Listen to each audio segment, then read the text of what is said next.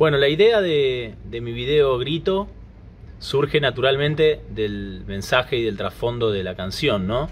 Una canción que compuse eh, con la necesidad de generar un acto de, amor, de fe, de buena fe, de, entrega y, y, de conexión también, ¿no? De conexión con la gente. Entonces, en esta idea de conexión con la gente, se nos ocurrió que no solo yo esté expresando este grito, sino también gente de otros, de otros lugares, de otros países. Y ahí surge la idea de, de algo de, con, personas de, de, varios, de varios países, de cinco países diferentes. Eh, el nombre, el nombre grito, bueno, que viene de la canción, también obviamente es, fue, fue mi idea, ¿no? al entender esta, este trasfondo, este mensaje, de que un grito era algo fuerte, una expresión fuerte de, eh, y, visible, audible para la gente. Entonces grito me pareció como algo que llama la atención, algo contundente. En este caso no es un grito ni de bronca ni, ni de protesta, sino que es un grito de, de, eso, de amor, ¿no? Un grito de buena fe y, de, y en este caso también de unión, de conexión con diferentes personas eh, dando un mensaje, ¿no? Haciendo personas de diferentes lugares del mundo, dando un mensaje también de unión mundial, si se quiere. La gente cuando, cuando ve el video este se encuentra justamente con, con diferentes paisajes del mundo, donde tenemos Mallorca, Australia, distintos lugares de México, Bolivia, Argentina, Buenos Aires, Rosario. Se encuentra con diferentes entornos, pero con una misma idea, con una misma acción, que es desarrollar eh, una, caminata por los lugares donde, donde cada uno vive eh, y cantar la canción, hacer el mismo acto de, amor, de, cantar la melodía de la canción como un grito, mm, digamos manifestando un grito, y al final elevan un globo de fuego que es como elevar la buena energía, ¿sí? Entonces es como que la, canción relaciona a todas las personas desde ese lugar.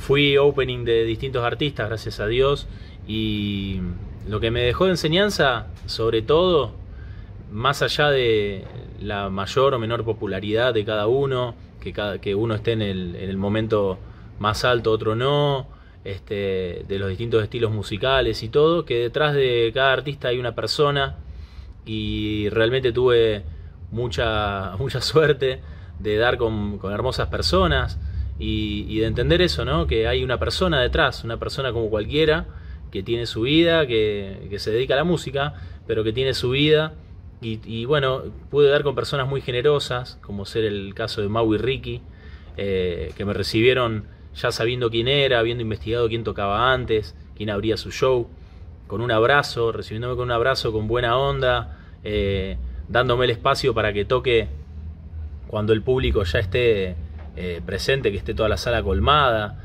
Entonces son gestos que, que realmente son una enseñanza para, para todo el mundo. Eh, o el tiempo que me dedicó Abel Pintos, que estuvimos, le pedí de hablar y estuvimos una hora hablando antes de un show que él tenía que dar de tres horas, o sea, realmente muy generoso.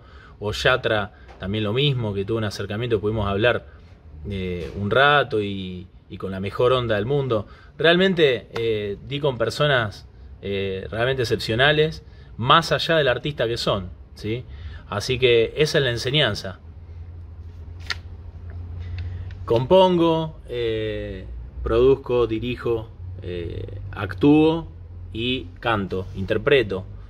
Eh, si tengo que elegir, yo creo que estoy en, contra de la grieta del arte, digamos, de, dividir. Creo que en este caso cuando uno llega a integrar todo está buenísimo porque, eh, porque uno puede transmitir más fielmente eh, y genuinamente lo que hace, ¿no? Lo que, lo que genera. en mi caso hacer canciones es algo que me surge de manera muy espontánea, de manera muy genuina y de manera muy intuitiva, no tan mental, sino como más emocional. Eh, te podría decir que interpretar, interpretar, ser un intérprete, es lo que más me sale como necesidad de interpretar cosas, tanto como cantante como actor. Eh, pero disfruto de, componer, componer canciones, es lo que también disfruto muchísimo porque genero cosas, me, como que me, llegan, me llegan información eh, que después necesito compartir desde el intérprete, ¿no? Así que más o menos esa es la explicación que, puedo dar y esa sería mi, elección.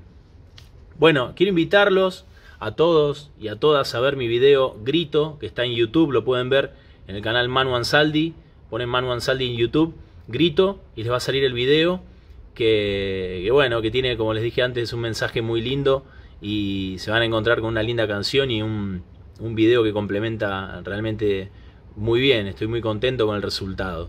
Y los invito este viernes 26 de noviembre a las 21.30 horas en el Teatro Caras y Caretas, que voy a estar presentando mi nuevo show, donde vamos a estrenar otro video que se llama 3200 veces, estamos terminando de producir, eh, vamos a tener sorpresas y voy a estar tocando con toda mi banda, va a ser eh, después de, dos años de no tocar un reencuentro con el público y algo que voy a disfrutar mucho, que estoy esperando con mucha ansiedad.